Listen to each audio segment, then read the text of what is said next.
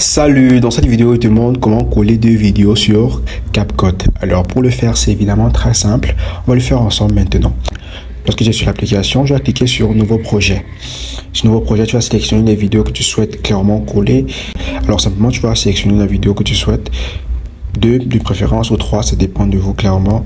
Donc choisirez la vidéo que vous souhaitez.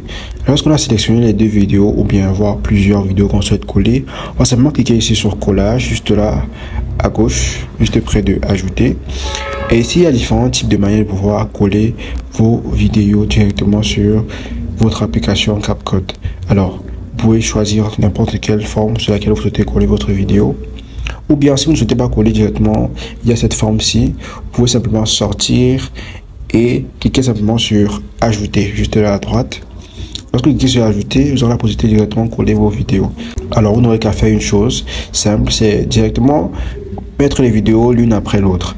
Alors, vu que vous souhaitez coller les vidéos nettes, qu'elles soient vraiment liées, vous pouvez simplement venir sur la deuxième vidéo, selon votre alignement ou selon votre choix, vous cliquez sur cette vidéo là et là vous aurez ici en bas sur sur superposition bien sûr superposer. Donc on va cliquer sur superposition juste là et là on pourra directement superposer les deux vidéos.